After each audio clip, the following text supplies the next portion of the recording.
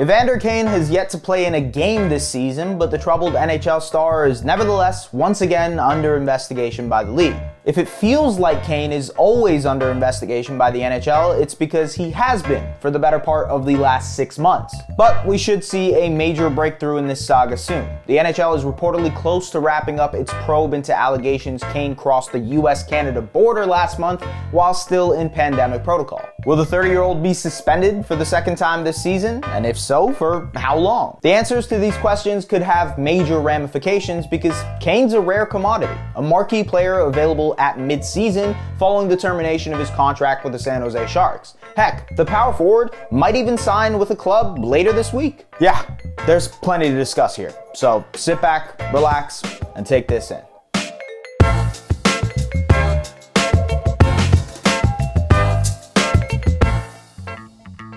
Kane's recent string of troubles began in July when his estranged wife Anna posted some stunning claims to Instagram alleging Kane not only had a gambling addiction but was also wagering on his own hockey games and throwing them in the process. Kane confirmed in an interview with ESPN that he did have a gambling addiction, although he vehemently denied the rest. The NHL investigated it and ultimately found no evidence that Kane had been gambling on his games. In the same September press release, the league announced it was in the middle of a second investigation into Kane for additional unrelated allegations. These were sexual assault and domestic battery allegations made by Anna in a restraining order application that was part of the couple's divorce filings. Kane denied these allegations too. In October, the NHL said it could not substantiate Anna's domestic abuse claims. However, in the same press release, the league announced Kane would be suspended without pay for the first 21 games of the 2021 season. The reason? Kane had violated the NHL's pandemic protocol by reportedly submitting a fake vaccination card. The bombshell ruling came on the reports that A, the Sharks had tried to trade Kane in the offseason, and B, some of Kane's teammates didn't want him to return to the team. One unnamed source told The Athletic that Kane's disrespect for team rules, i.e., being late for practices and games, had caused friction within the Sharks' bubble.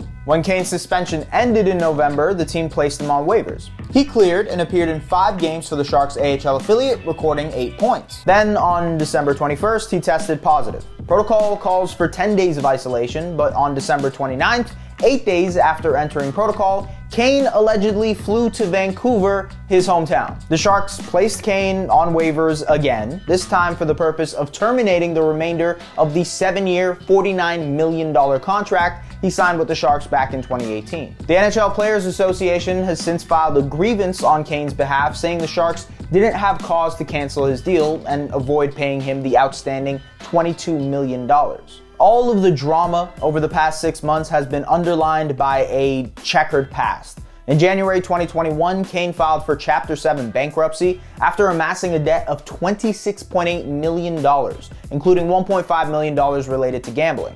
The Cosmopolitan Casino in Vegas sued Kane in 2019, claiming he had walked out on $500,000 in gambling markers. In 2016, Kane was suspended by the Buffalo Sabres after missing practice to attend NBA All Star Weekend. In the same year, he was sued for allegedly attacking a woman in a local bar, and in a separate incident at another bar, was arrested for harassment. That said, Kane was eventually cleared of wrongdoings in the two incidents in Buffalo bars. In 2015, Kane refused to play in a game for the Winnipeg Jets after getting into an altercation with his teammates earlier in the day. Dustin Byfuglien, the captain of the Jets, apparently tossed Kane's tracksuit into the shower to send a message to his teammate. We could get into every single incident in Kane's career, but I think you get the point. Back to the present. Kane is a free agent who could theoretically give a contending team a tangible boost up front. The two-time 30-goal scorer is physically imposing at 6'2", 210 pounds. He can slot into a wing spot in the top six, and in the past, he's found chemistry with elite players and consistently rock strong underlying numbers. Perhaps most appealing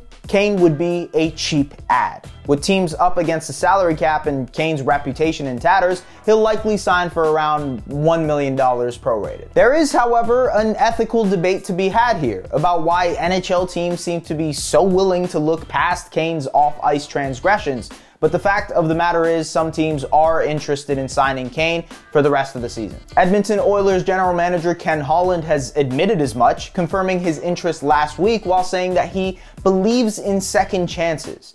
which is a generous way to contextualize the situation considering Kane would be on what, like his fifth chance? Anyway, other potential fits include the Florida Panthers and Carolina Hurricanes, two legit Stanley Cup contenders who play in smaller markets. Hovering over the speculation, however, are two variables. First, the length of the second suspension, if there is one at all. If Kane is suspended for, say, let's say 40 games and there's only 45 games left in the regular season, the number of suitors may dwindle down to zero. The second variable is the risk tolerance of teams interested. If you're interested in Kane, you're actually a contender, presumably with a strong culture. You run the risk of disrupting that culture by parachuting Kane into the mix. But what do you think?